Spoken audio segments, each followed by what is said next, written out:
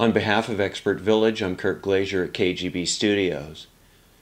Continuing on with these sessions on the four-track reel-to-reel restoration process. Alright, so this is the type of oil that you need. Where I typically use sewing machine oil because it seems to be very, very well qualified for this type of function. So what we're going to do is we're actually going to drip just one drop right into this hole right there and then we'll show you a little about what goes into this next reel. It's a little more difficult. Those are the two reels that you have to pay attention with this oil. Okay, so here we are with the oil, and you just grab one small drop. So I'll just squeeze one drop in there. And of course you want to make sure that the deck is laying down and you want to brace it so that you don't have any uh, drippage running all over the place. Now let's go to the next motor. The next motor is a lot more difficult because you have to align that small little hole right there. If you probably can't see it, but you have to align that with the actual drop. And then you grab your oil and you insert one drop of oil in there as well.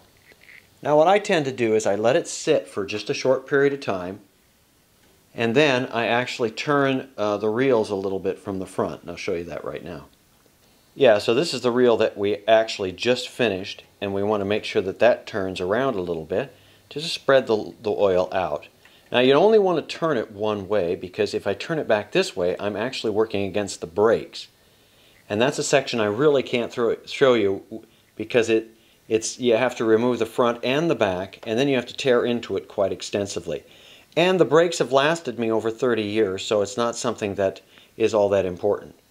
This screw on the front, just by the way, is an adjustment for height. So if it doesn't roll properly, you can adjust the height with this one. So that's the one. The other reel that will turn is down here. But of course that's turned from the back.